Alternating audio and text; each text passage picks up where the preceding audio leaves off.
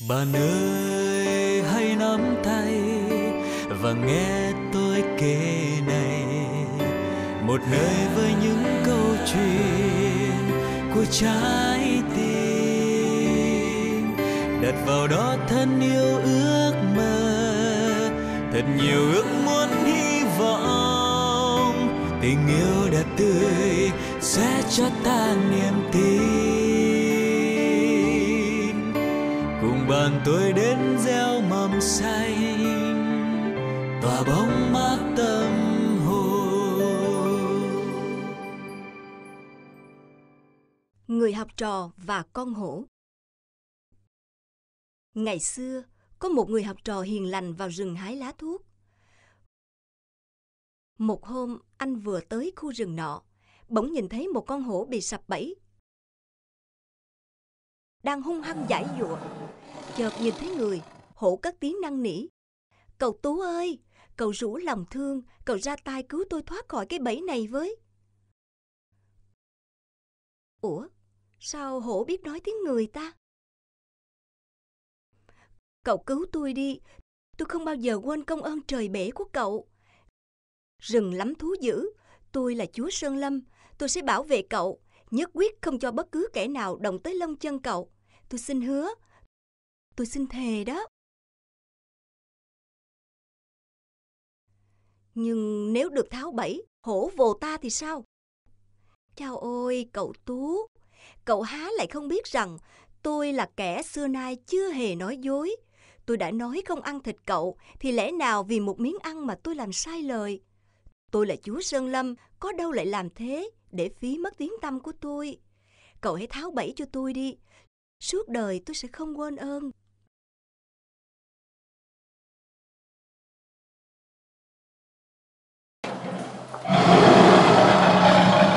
Ôi, người la lớn quá, làm ta đinh tai nhức óc đi nè. Tiếng của tao làm mày khó chịu ư. Tao còn muốn ăn thịt mày nữa đó. Chính nhà ngươi vừa thề thốt với ta, cầu xin ta cứu giúp. Sao giờ lại lấy quán trả ơn như thế? Tao cảm ơn lòng tốt của mày, nhưng mày phải hiểu rằng cái bụng đói của tao thì không cần biết phải trái gì hết. Tao nhịn đói đã mấy ngày nay, và bây giờ thì cần có sức để trở về hang cái đã. Vậy mày hãy nộp mạng cho tao đi. Trong khi con vật phản phúc đang tìm cách nuốt trôi lời hứa, thì một vị thần núi biết được câu chuyện. Thương hại người học trò bị mắc lừa, thần núi bèn hiện ra trước mặt hai bên.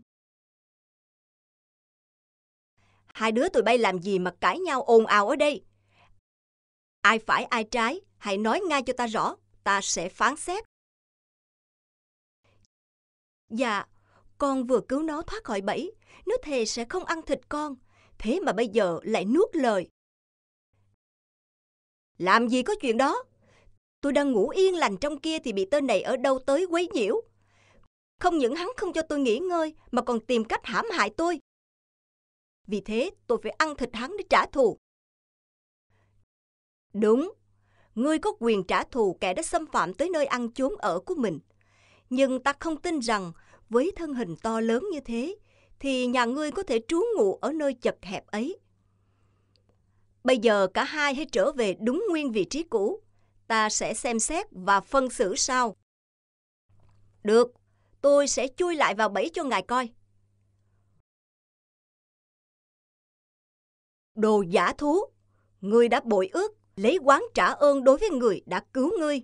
Giờ thì đừng mong có ai tới cứu giúp ngươi nữa. con là người giàu đức nhân hậu nhưng không nên không được đem lòng nhân hậu trao cho những kẻ độc ác trong cõi đời phải nhớ lấy